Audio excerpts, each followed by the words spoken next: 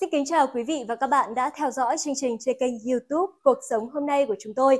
Chúng tôi luôn mang tới cho quý vị những thông tin mới nhất, hot nhất. Và bây giờ xin mời quý vị theo dõi chương trình. Tổng thống Zelensky nổi đó khi tờ WSJ công bố ước tính bí mật từ Ukraine. Tổng thống Ukraine đã phản đối ước tính của WSJ rằng 80.000 quân lính Kiev đã thiệt mạng trong cuộc xung đột với Nga. Ông Zelensky đã bác bỏ báo cáo của tờ Wall Street Journal về thương vong của người Ukraine trong cuộc xung đột với Nga là tin giả. Vào thứ Ba, WSJ viết rằng khoảng 80.000 quân nhân Ukraine đã thiệt mạng và khoảng 400.000 người khác bị thương. Tạp chí này trích dẫn một ước tính bí mật của Ukraine từ các nguồn tin giấu tên quen thuộc với vấn đề này. Các phóng viên đã yêu cầu ông Zelensky bình luận về ước tính của WSJ vào thứ Sáu.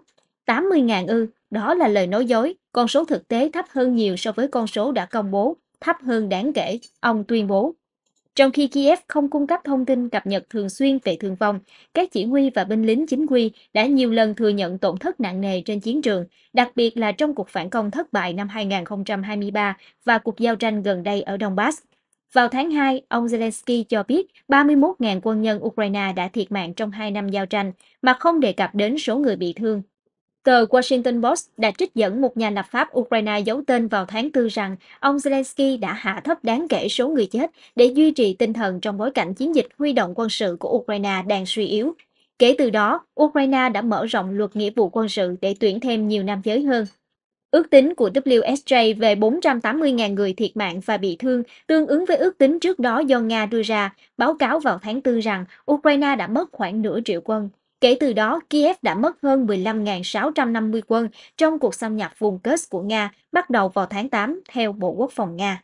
Moscow không tiết lộ thương vong của riêng mình, tuy nhiên Tổng thống Vladimir Putin đã nói vào tháng 6 rằng tổn thất trên chiến trường là một năm nghiêng về phía Nga.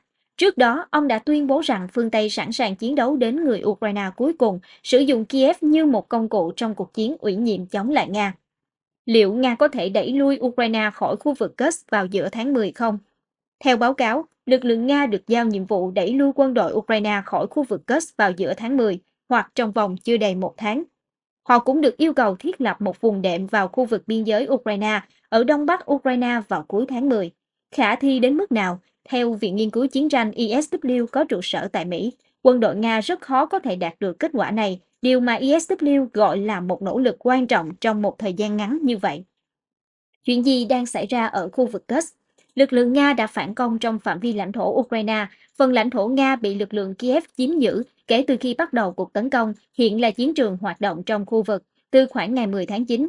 Vài ngày sau cuộc phản công của Nga, quân đội Ukraine đã vượt biên giới Nga ở một khu vực khác, cách vị trí chính khoảng 30 km về phía Tây.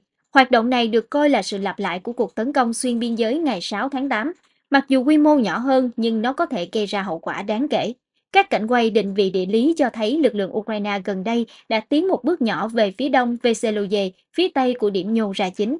Nếu họ tiếp tục cố gắng bỏ qua Veseloye và ngay lập tức tấn công Luskovo, điều này có thể cho phép họ gây sức ép lên nhóm quân đội Nga đến một rào cản tự nhiên sông Siim. Họ có thể đạt được điều này bằng cách quay về phía đông và đông bắc, hướng tới điểm nhô ra chính và cố gắng kết nối với lực lượng Ukraine ở đó. Trong trường hợp này, lực lượng Ukraine có thể bẫy và cắt đứt hàng ngàn nhân sự Nga. Ukraine và Nga muốn gì ở Kursk? ISW tuyên bố rằng kể từ khi quân đội Nga bắt đầu phản công trong phạm vi chính, họ vẫn chưa bắt đầu các hoạt động chiến đấu quy mô lớn, cho thấy một chiến dịch phản công phối hợp nhằm đẩy lùi hoàn toàn quân đội Ukraine khỏi khu vực. Nhóm nghiên cứu giải thích rằng các hoạt động phản công liên tục trong khu vực Kursk sẽ đòi hỏi lực lượng Nga phải tái triển khai các đơn vị bổ sung từ Ukraine và điều động lực lượng mới được thành lập từ trong nước Nga đến khu vực này thay vì đưa ra tiền tuyến tại Ukraine. Lực lượng Ukraine cũng có thể cần thêm quân nếu họ muốn tiếp tục tấn công vào khu vực Kursk. Mặc dù họ vẫn chưa thiết lập được quyền kiểm soát toàn bộ các khu vực trên khắp vùng nổi bật này, ISW đánh giá rằng họ chắc chắn đã chuẩn bị các vị trí trong một số khu vực có thể gây ra thách thức cho bất kỳ cuộc phản công phối hợp nào của Nga. ISW, Ukraine lợi dụng sơ hở để tấn công Kursk, Nga trở tay không kịp. Theo ISW, quân đội Ukraine lợi dụng tình hình để mở cuộc tấn công ở khu vực Kursk, mặc dù Nga đã biết và chuẩn bị trước từ nhiều tháng. Như vậy, Kiev đã đạt được bất ngờ và có thành công nhất định. Viện Nghiên cứu Chiến tranh ISW có trụ sở tại Mỹ nhận định, chính quyền Nga đã biết về nguy cơ xảy ra một cuộc tấn công trong tương lai của quân đội Ukraine AFU ở khu vực kết trong nhiều tháng, nhưng không thực hiện các biện pháp thích hợp để giải quyết mối đe dọa này.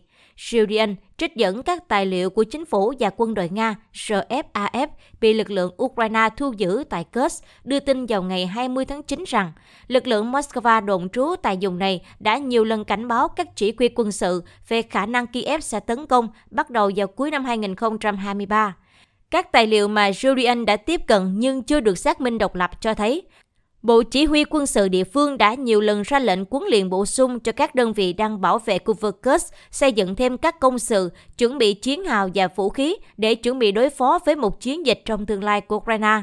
Một tài liệu lưu ý, tính đến tháng 6, các đơn vị quân đội Nga đồn trú dọc biên giới chỉ có trung bình 60 đến 70% quân số, theo biểu biên chế và chủ yếu là quân dự bị được đào tạo kém. Báo cáo viết, có vẻ như Nga không có nỗ lực đáng kể nào để tăng cường khả năng sẵn sàng của các đơn vị tại các khu vực biên giới vùng Kursk hoặc xây dựng thêm các công sự dọc biên giới, và chính quyền Nga có thể chọn cách bỏ qua những yêu cầu này do tính toán sai lầm về khả năng tiến sâu vào vùng Kursk của Ukraine. Báo cáo nêu rõ, các tài liệu này ủng hộ đánh giá gần đây của ISVK rằng lực lượng Kiev đã đạt được bất ngờ trong cuộc xâm nhập vùng Kursk, mặc dù chính quyền Nga được báo cáo về nguy cơ. ISVK nhận định, Mặc dù lực lượng Moscow có thể biết về nhiều điểm dọc theo biên giới nơi Ukraine có thể phát động một cuộc tấn công, nhưng lực lượng Kiev đã có thể khai thác sự không chắc chắn về ý định và khả năng hoạt động của họ để đạt được bất ngờ. AFU cũng được cho là đã thử nghiệm các phương pháp sáng tạo kết hợp các hoạt động trên bộ và hệ thống không người lái, mà ISVK sẽ không nêu chi tiết để duy trì an ninh hoạt động của Ukraine. Chiến dịch của Ukraine ở khu vực Kursk chứng minh rằng vẫn có thể bất ngờ ngay cả trên một chiến trường có phần trong suốt, nơi Nga có thể quan sát được sự tập trung lực lượng nhưng không thể nhận ra một cách đáng tin cậy ý định và khả năng tác chiến của đối phương, báo cáo viết. Những nhận định đáng chú ý trong báo cáo ngày 20 tháng 9 của ISVK Thứ nhất, trong chuyến thăm Kiev ngày 20 tháng 9, Chủ tịch Ủy ban châu Âu Ursula von der Leyen đã công bố việc thành lập hai cơ chế tín dụng mới cho Ukraine, trị giá lần lượt lên tới 75 tỷ và 35 tỷ euro. Thứ hai, các nhà chức trách Nga được cho là đã biết về nguy cơ xảy ra một cuộc xâm nhập khu vực Kursk trong tương lai của Ukraine nhiều tháng trước khi Kiev mở chiến dịch tấn công, nhưng đã không thực hiện các biện pháp thích hợp để giải quyết mối đe dọa. Thứ ba, điều này xác nhận đánh giá gần đây của ISVK rằng các lực lượng Kiev đã đạt được sự bất ngờ chiến dịch trong cuộc xâm nhập Kursk, mặc dù các nhà chức trách Nga được cho là đã biết về khả năng xảy ra một đòn đột kích. Thứ tư, quân đội Nga đã có những bước tiến gần Volchan, Kremenaya, Torres và Bobrov, trong khi AFU gần đây đã giành lại các vị trí đã mất ở Volchan và Sever. Thứ năm, Truyền thông nhà nước Nga ngày càng chú ý đến sự tham gia của công dân nước ngoài vào các hoạt động quân sự của nước này tại Ukraine, có thể là nhằm trấn an công chúng trong nước rằng Moscow tiếp tục tuyển đủ quân và sẽ không cần phải công bố một đợt động viên khác. Cảm ơn quý vị và các bạn đã theo dõi chương trình của chúng tôi. Nếu quý vị thấy thông tin hữu ích, xin hãy nhấn đăng ký và chia sẻ để cập nhật những thông tin mới nhất. Còn bây giờ, xin chào và hẹn gặp lại!